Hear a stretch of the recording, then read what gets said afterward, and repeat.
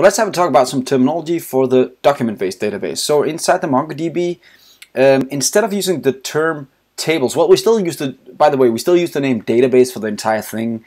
That makes sense. But instead of using the term tables, we use the term collection. So down here, it's kind of a, um, it's a pretty simple example, but consider that there's actually not only a single user here, I just didn't have enough space, you'll have a comma and then you'll have another user and another user and you'll just keep going with users, more and more users. So this is what we call the users collection.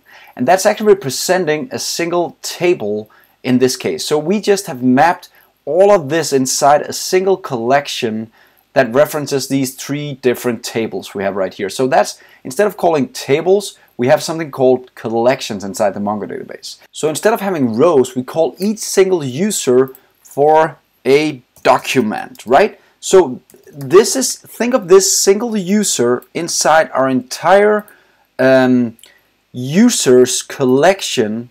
This single user right here, he's a document. So that's for each row, we call it a document instead of a row because you can see there's a lot of more information in a document than there is in a single row. So that's this is what we call the document. Then the last one we need is kind of the columns. What do we call a column inside this guy?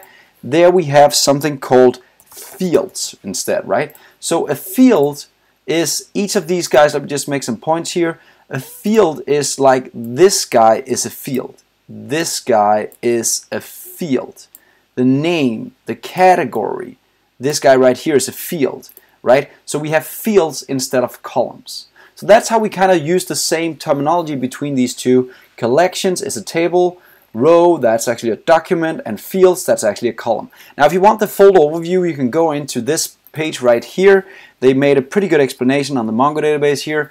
And uh, document, MongoDB, manual reference, SQL comparison. Here they kind of make the exact mapping term between the different terminologies. So have a look at that if you want to, but I just kind of gave you the, the overview here. So see you in the next lesson where we'll dive more into the Mongo database.